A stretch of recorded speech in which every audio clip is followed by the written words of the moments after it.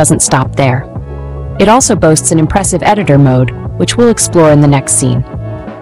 This mode takes content creation to a whole new level, offering a streamlined process for crafting high-quality content.